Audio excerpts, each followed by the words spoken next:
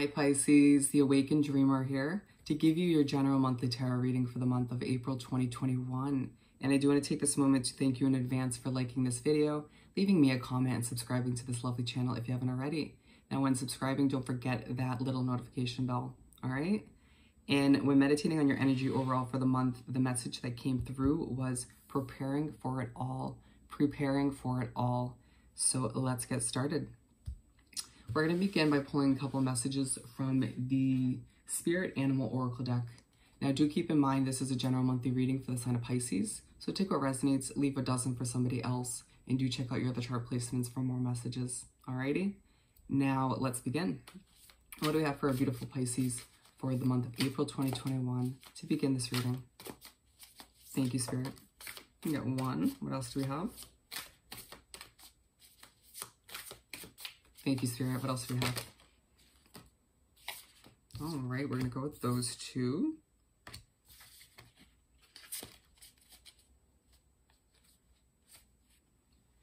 So we're beginning with Mouse Spirit. Tend to the small things.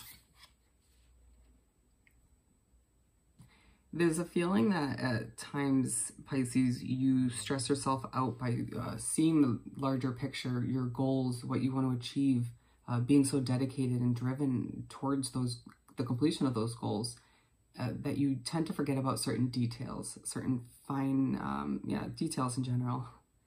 Um, so Spirit in the Universe is advising you, pushing you, guiding you to focus on certain details that you may regret overlooking uh, along the way or down the line, okay? And moving on to the second card, we have Bobcat Spirit. Life is a mystery. So you're going to be reminded this month by, um, in general, that your life isn't as as it used to be, okay? That life is a mystery, that you need to trust in that mystery and how things are meant to unravel. I'm seeing the two of swords in my mind's eye. And if you think about that imagery, there's the blindfold and the, the swords. And they're saying that um, you'll know the way uh, along the way. Interesting and to sort of trust in that mystery while trusting your own intuition, your own inner knowing, and not allowing yourself to stress over what's to come. Beautiful. Good start. Let's continue by pulling six tarot cards, a simple six card spread for the month. Uh, what do we have to continue this monthly reading for Pisces? Thank you, Spirit, for April.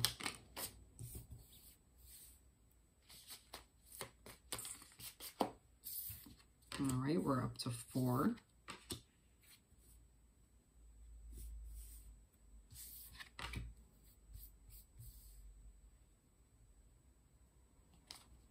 And we're going to pull the uh, remaining two, excuse me, right from the top of the deck.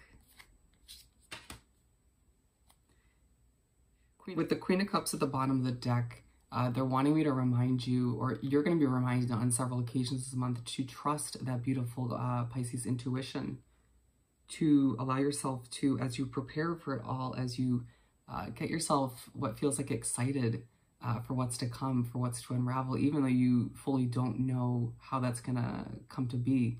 They're saying once again, trust, trust in what you already know. All right, trust in what's being, uh, what you're being reminded of this month. So to start off the month in the spread, we have the Four of Wands. So you begin the month, my friend, feeling the need to uh, celebrate. Oh, they want me to clarify this. Just one moment. What do we have this for once?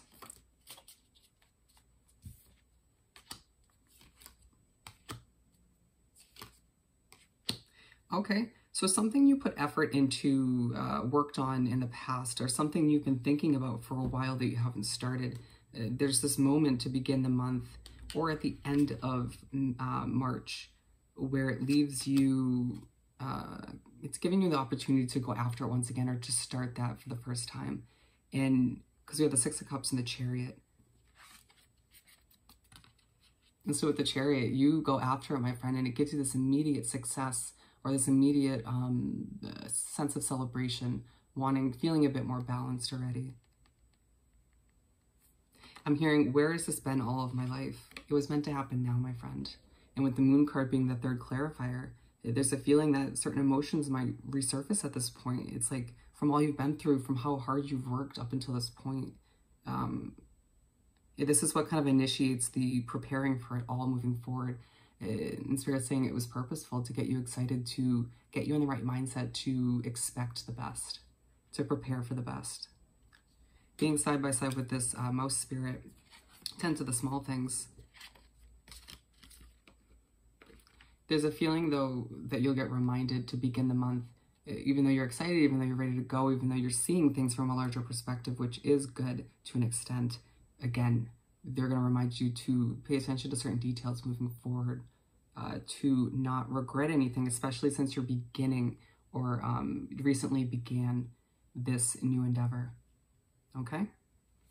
Moving right along, we have the Ten of Swords. We are also going to clarify this one, my friend. What do we have for this Ten of Swords for Pisces? All right, my friend, so this is a situation that's coming to an end that is going to vary from case to case, whether it's an individual, whether it's a group of people, whether it's a job, a home situation. Either way, we have the devil and the five of wands. It is a chaotic, uh, unhealthy situation, all right? If it's a person, the energy is toxic. It's this point in the month where they're reminding you, you're not letting anybody or anything hold you back. I mean, you were just starting the month with a sense of celebration, balance, uh, with the chariot going after what you want and deserve. And to allow certain energies or a situation that is a bit toxic or unhealthy, chaotic at the very least, to come in and no, absolutely not. So with the Ten of Swords, Spirit in the universe is so proud to see you putting an end to uh, what no longer works for you. And we're moving on to, oh, with the Justice being the other card that came out, my friend, I'm so sorry, as a clarifier. Uh, reminding you that once you make this change, it's going to be so easy for Spirit in the universe to help you balance out the scales, to give you your own sense of justice. It's like you're giving, you're initiating your own sense of justice uh, to be instilled by making this necessary change. Good for you. The Hierophant in reverse to move right along. And so you make your way to wrap up the first half of the month and you're not feeling so uh, excited, right? You're not feeling very connected to the universe and spirit as well.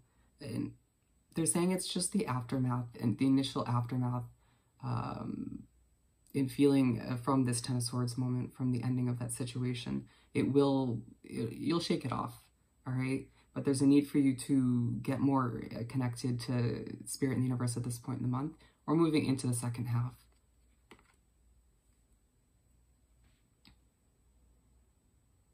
We're moving on to the Ace of Wands. To begin the second half of the month, my friend, there's, um, we're going to clarify first, just a moment. What do we have for this Ace of Wands? Absolutely. So we got the Tower card for the Ace of Wands, and so they're reminding you that um, whatever has left your life recently, including that situation from earlier on, it, there's a fresh start ahead. And it, this this feeling that you do get more connected at this point in the month to spirit, to the universe, uh, while your intuition just is on fire. And they're saying, trust that intuition. Trust it, my friend. Being aligned with the Four of Wands. They're saying that this uh, this reminder of what's ahead of this fresh start, the replacement of what no longer worked for you, uh, is going to leave you once again with this sense of uh, this newfound sense of balance and celebration in your life. Uh, and Spirit is looking at you saying, see, gotta trust. And being side by side with this Bobcat Spirit life is a mystery. It's at this point in the month where you're reminded once again to trust in the mystery of how things are meant to unravel. Trust in your intuition, trust in spirit in the universe. Alrighty, my friend? We're moving on to the Queen of Wands. So you make your way to the middle of the second half of the month and you're feeling more content, more peaceful, but more passionate. It's like all of which leading up until this point has benefited you in this way. It's like you your inner knowing is now uh, something you'll trust moving forward. Your inner uh, voice, your intuition, right? being aligned with the Ten of Swords, you'll fully, it'll fully click at this point in the month if it hasn't already, um, that the completion of this Ten of Swords moment, whatever ended up being for you once again, has left you feeling more passionate, more content, more free. Three of Pentacles. And so you make your way to wrap up the uh, second half of the month, the month in general, and in comes this recognition, appreciation, uh, people sort of noticing you for all of the changes you're making for uh, for a good amount of you for this Ten of Swords moment, for putting an end to what no longer worked for you. Allowing for this recognition, appreciation, this gift of um, people noticing you to uplift you, to move you into the following month feeling stronger than ever, feeling great about you. Being in line with the Hierophant in reverse, it's at this point in the month where you can't help but think back to when you weren't feeling so great. And they're saying, remember, that was just an initial feeling from the ending of that situation. And there's nothing but success and happiness that lies ahead for you. Okay? Let this um, recognition, appreciation once again motivate you to continue to prepare for it all, to continue to see the best, expect the best as you move forward. All right. So let's finish off this beautiful reading by pulling a message or two from the Small Star Seeds deck. Alrighty, what do we have for Pisces to wrap up this reading? Thank you, Spirit. Thank you, Spirit. Oh, I love it. No limitations. You are a celestial being with unlimited potential. There's much for you to share. Reminding you, my friend, that as you prepare for it all, as you continue to strive for all that you deserve in this lifetime, you have no limitations. Um, allowing yourself to just go for it, prepare for it all. All right.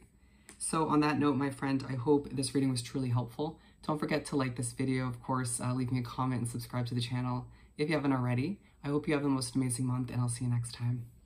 Bye.